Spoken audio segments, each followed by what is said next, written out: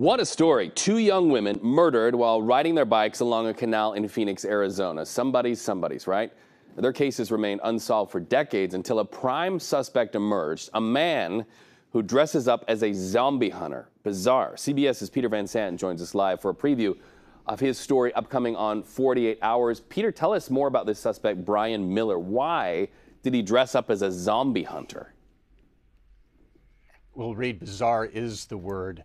Uh, he was a, a, he was fascinated with horror films, and he hung out in the steampunk movement. These people mm. who who dress like they're back in the steam age, and he made this costume uh, with goggles, a metal helmet, this trench coat. He bought a, an old police cruiser and put uh, blood on the outside of, of the of the doors, uh, fake blood, and in the back seat you had uh, a zombie mannequin that had this frightening look, and he would drive around the streets of Phoenix. He was a huge hit at sci fi conventions and at zombie walks. In Phoenix, they sometimes get as many as 30,000 people taking part in that.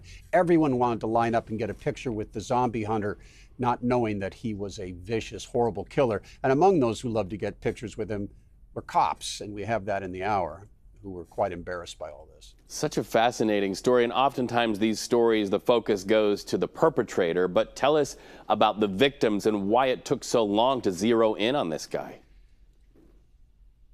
Well, these were anonymous victims, uh, two different women who, over the course of 10 months, beginning in 1993, 1992 rather, into 1993, they were attacked on the on these bike paths that run, run along the canals in in Phoenix at night, and there was no motive. They were horribly horribly murdered. One was decapitated. Mm. Another one had been cut almost in half. It so shocked the Phoenix area. Um, people who used to use those paths uh, just stopped doing so, and it's still that way today. You can walk along there and no one is there. That's the impact of all of this. And it took forever because it was an anonymous killing. They had the DNA of the victim, but technology didn't improve where they could actually do something with that until about 2014. Wow, and we remember that the victims are somebody's daughters. You see their photos. It is such a tragedy. Now we go to the court discussion. They really are going to have to have some strategy in his defense. Do you have any peek into that?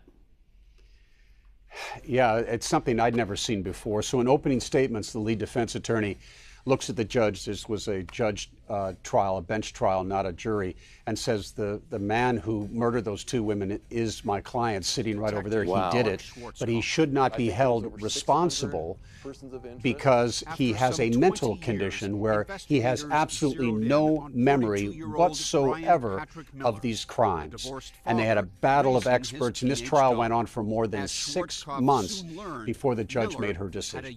Well, and all the while, the victim's family members enduring those months added added on top of all of the grief and pain. Thank you so much for this conversation. Peter Van Sant, you can see Peter's full report on 48 Hours tomorrow night at 10 right here on KPIX and streaming on Paramount Plus. Be well, my friend.